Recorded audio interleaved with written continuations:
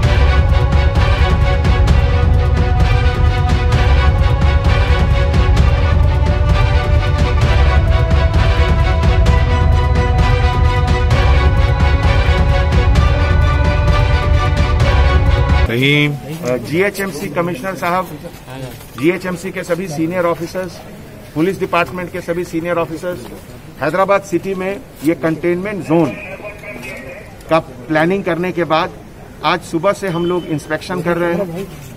GHMC commissioner साहब और RNB secretary साहब लोग बैरिकेडिंग के बारे में आप लोग जैसा देख रहे हैं रफली एट किल एट एट फीट का बैरिकेडिंग है। ये कंटेनमेंट जोन का मतलब है कि कोरोना वायरस के स्प्रेड को कैसे कंटेन किया जाए, कैसे रोका जाए। और इसी के लिए ये इंपॉर्टेंट एरिया जो 12 से 15 एरिया अभी तक सिटी में आइडेंटिफाई हुए हैं, जिसमें कि हर एरिया में लगभग 4000 से लेकर 7000 हाउस होल्ड फैमिलीज़ हैं।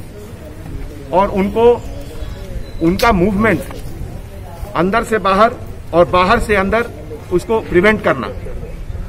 जीएचएमसी के तरफ़ से इसेंशियल आइटम्स के सप्लाई के लिए इसमें अरेंजमेंट किया गया है। और हर जोन के अंदर already grocery item essential item medicine items इसका इंतज़ाम ऑलरेडी है।